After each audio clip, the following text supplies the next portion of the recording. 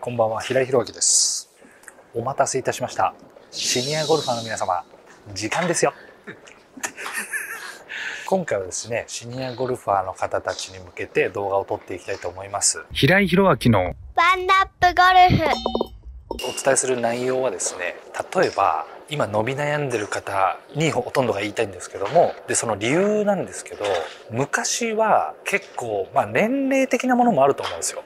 なんで昔は若かったからうまく打てたとかこう力でねじ伏せられたとかいろいろあったと思うんですけどその他に昔はスイングとかなんとか意識してなくて好き勝手打ってたけどもいろいろゴルフを知ってきてこうやっちゃいけないんだああやっちゃいけないんだこうしなきゃいけないんだって言って調子落としてませんか？結構見るの。うちの父ちゃんなんかもそうなんだけどゴルフを続けてた時は。昔はね結構好き勝手打ってたの。だけど毎週雑誌買って毎週いろいろスイング意識してやるようになってからああでもないこうでもないって言い始めてこうどんどんどんどん調子が悪くなっちゃって。それはねしょうがないことなんだけど上手くなろうとしてやったことだから。だけどあんまりやりすぎるとゴールが見えなくなって行き着く先がどこなのかってなっちゃうんでね。だからやっぱりなんだかんだそのシニアになってくると体力的にもまあいろいろと無理が効かなくなることもあると思うんでね。なんでまずはスペックだったり体の使い方っていうのをもっともっと楽した方がいい。ただ力を入れるところはちゃんと入れていただいて打っていただいた方がいいんですけどあのね体が例えば回らなくなるから回そうとしたら当たんなくなるから回らなくなるのが普通だから回らなくなっていいのよ。回そうとしなくていいの。それを何で補うかって言ったらパンチ力なのよ。だから体が回んないんだったらパンチ力を使うしかないんでね。それで全然いいしなんか無理にこう例えば20年前のバックスイングの度合いを取り戻そうって言ってももちろん年齢が20歳も上なんだからその時よりも。だから全然絶対にこう柔軟だったり違うからね。らそういうことは無理にやらなくていい。でなんだろう。シニアになるとね間が持てなくなるの。例えばねドライバーで一番多いのはこれちょっと一発ずつね。若い時ってトップで待てんのよ。こうやって。そうだけど年取るとこうやっていくの。間が取れないの。こうやってね。こうやってなんだよ。打ち急いじゃん。それはねなんでなんだろうね。みみんなそうよ。間が持てなくなるの。どっかのあれなのかな。力。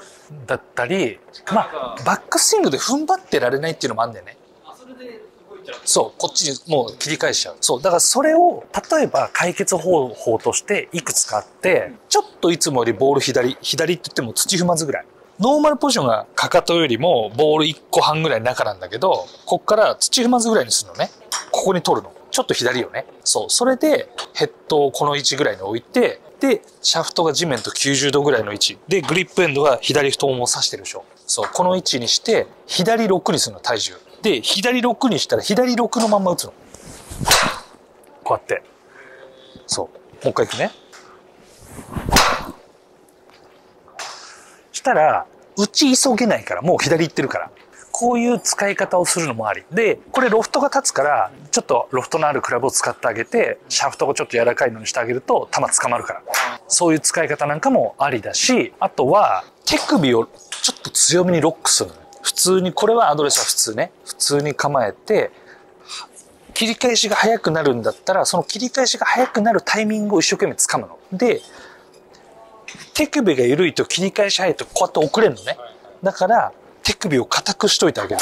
ですぐこうやってこうやって戻せる準備をしといてあげてこうやって打ってあげる。そしたら右に開かないから。こうやって。これもロフトがあった方がいい。球が上がんないからね。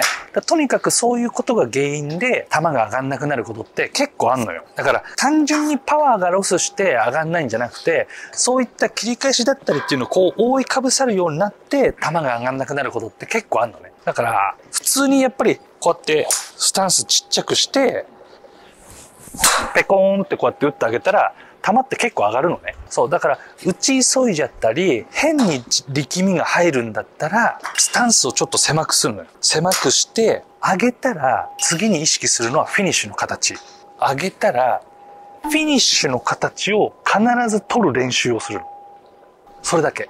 スタンスの狭いアドレスからフィニッシュを絶対に取るの。こういう風に。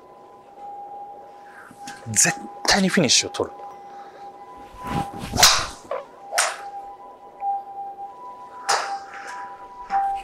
これ球なんかどこ行ってもいいから。まず形。で、それなんでフィニッシュ取るかっていうと、力んだらフィニッシュ取れないから。フィニッシュの取れる力感で打つ練習をする。そう、これはね、すごい重要。うちの父ちゃんなんかも、やっぱり力みやすくなるんだよね。年齢重ねると。だからそれをフィニッシュだけ取る、フィニッシュだけ取るって言ったらいい球打つのよ。だからそういう練習を普段からやるだけで意識が変わるから、そういう意識は持ってあげた方がいいね。あとね、めっちゃくちゃ変わるのがアプローチ。アプローチはね、どどうしよう。うちの父ちゃんの真似した方がいいのかな？うん。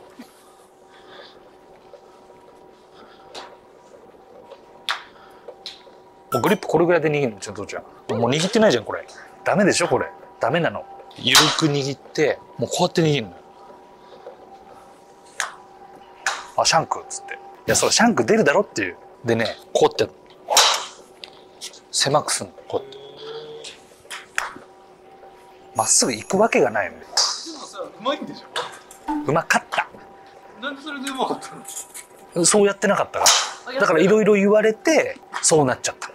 えー、そう。いや、平井さんダメだよ、それじゃあ、みたい誰に言われるな。わかんない。いいつか、で、自分で勉強したのか、誰かに言われたのか、の最初はさ、こうやってやっててさ、こうやって打ってたのよ。いいでしょ？それがさ、い突然さ、もうこうよ、こう。もうそんなんじゃ、タコじゃないんだから、そんなんじゃ、寄るわけないでしょって。で、今度さ、お、分かったっつってやるとさ、こうやってやる。自分からしゃくり行くの。いや、上げんのはロフト。自分からなんで上げ行くのっつって、パターうまいんだからパターで打ってみなよっつったの。ウェッジでね。したらさ、こうやって打ってんの。そうだよっつったの。そうだよ。できんじゃんっつって。意識の問題だなって言ってた。そうだよっつって。この話聞いてくれるのに黙って。そうなのよ。アプローチってね、やっぱりアプローチでも打ち急ぎが多い。こうやって。いや、これ、冗談抜きよ。いる。いる。もうびっくりした今。そうでしょ。いつ打ったのみたいな。そうでしょ。めっちゃくちゃいるから。こうやって。本当に。あなたドライバーでその動きしたら280いくよっていうぐらい速いから。早い。うん。それぐらい早く動いちゃうの。待てないんだよね。そう。それを待つにはどうしたらいいかって言ったら、パーツとパーツの間隔を広くしてあげる。こうやって。ゆるーく、ゆっくり。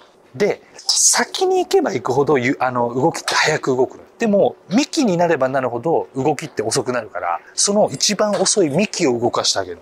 溝落ちを右向けて、左向けてあげる。腕はそのまんま。こうやって。そう、その意識。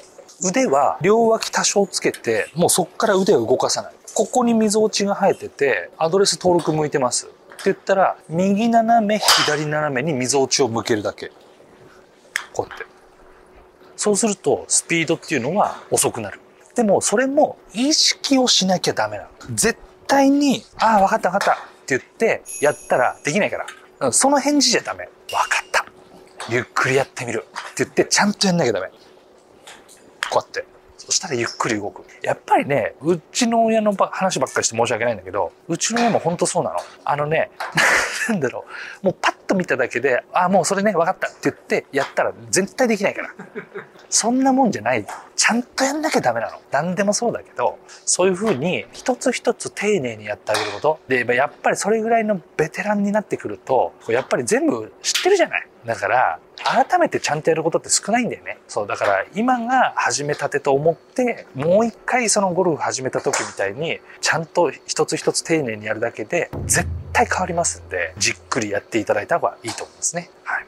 いや、今回はシニアゴルファーに向けてちょこっとだけ、まあ、内容をちょっと話していきました。参考にしていただけたらと思いますので、気に入っていただけたらチャンネル登録とグッドボタンのよろしくお願いいたします。最後までご視聴ありがとうございました。この度ワンナップゴルフのオンラインサロン始めました。セクシーショットありのマル秘映像ばっかりでございますのでぜひ興味ある方は入会していただいてですね知ってる？あれ？っていうネタをですねコンペとかで言っていただければと思いますのでぜひご入会よろしくお願いいたします。